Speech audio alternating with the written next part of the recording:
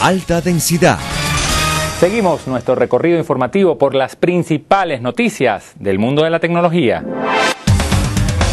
Google permitirá a los usuarios acceder a sus soluciones Docs y apps sin necesidad de tener conexión a la red.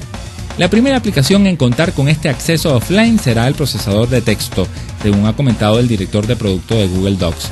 En las próximas tres semanas, Google extenderá el proyecto a todos los usuarios de los procesadores de texto, ofreciendo la posibilidad de editar documentos offline.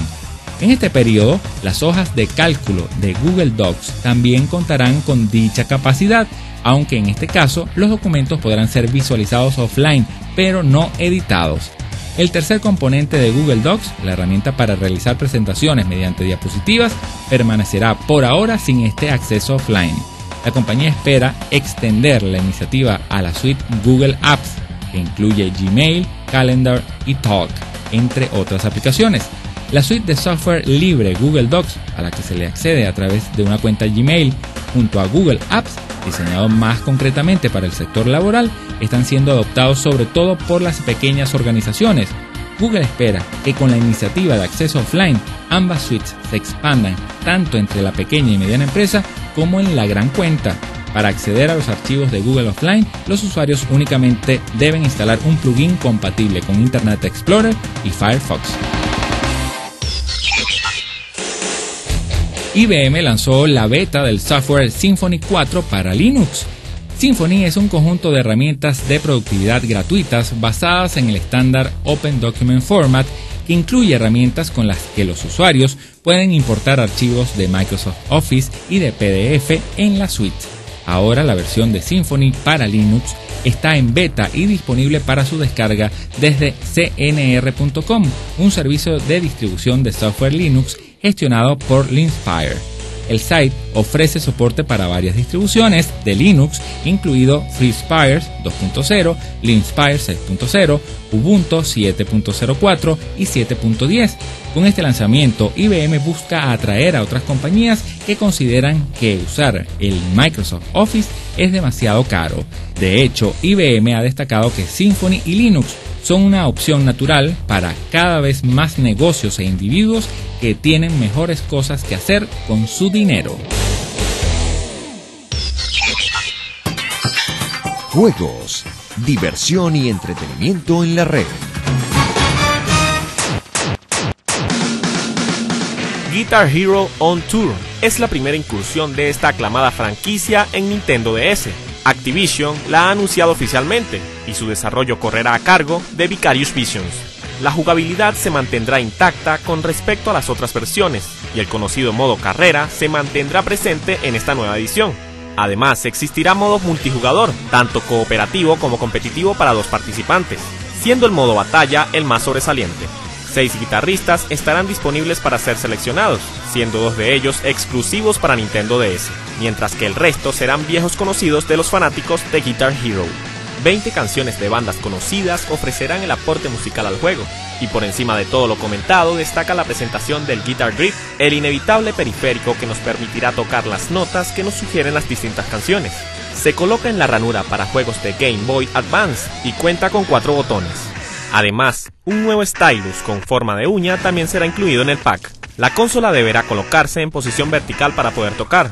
Guitar Hero para Nintendo DS será lanzado a mediados de año.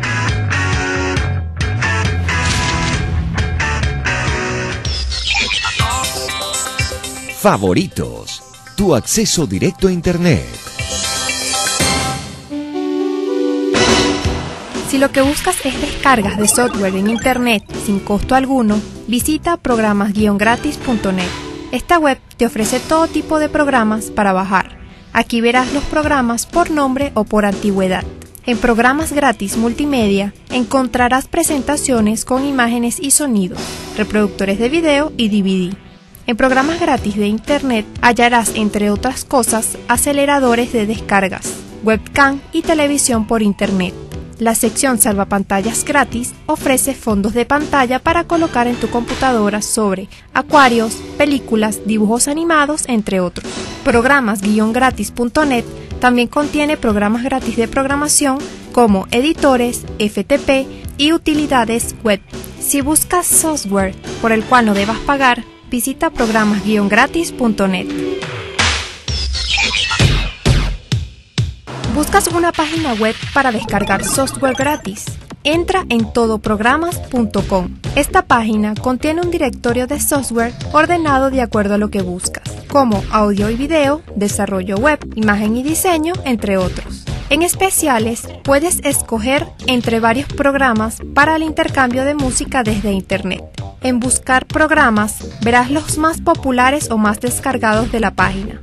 Todoprogramas.com te permite añadir aplicaciones que estés interesado que aparezcan en esta página, pero debes tomar en cuenta las restricciones de propiedad intelectual y derecho de autor. Si necesitas programas para Linux, Windows, Mac y Pocket PC, en el site soxtonic.com encontrarás algunos de forma gratuita. Cada sección te ofrece su programa del día los más destacados y el producto estrella. La página tiene un top de descargas y los programas más valorados por los visitantes. Softonic.com contiene foros para conversar con otras personas acerca de temas relacionados a la informática. Esta página te ofrece una herramienta gratuita para escanear tu PC y saber si tienes programas espías instalados. Aquí puedes registrarte y dar tu opinión sobre los programas ofrecidos en esta página. Visita softonic.com. Si lo que buscas son los recursos que ofrece Internet sin costo alguno y no pudiste tomar nota de cualquiera de estas direcciones, ve a altadensidad.com y entra en la sección Favoritos.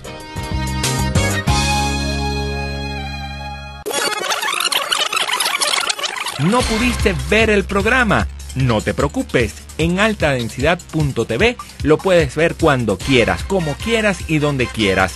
Ahora tienes un videograbador gratis en la red y para ver el programa solo tienes que hacer clic.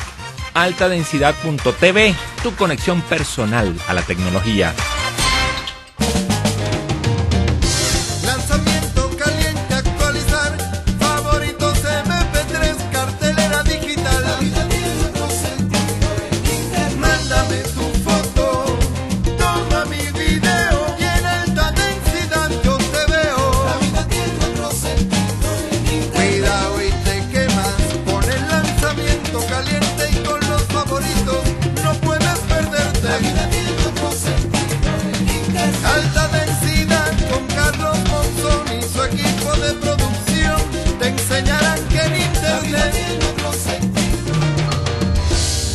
Bien, y de esta forma llegamos al final de este enlace, pero prepara tu disco duro porque la próxima semana tendremos más información de alta densidad. Fue una presentación de Digitel, la red GSM que sí funciona. Únete tú también. Y PC World.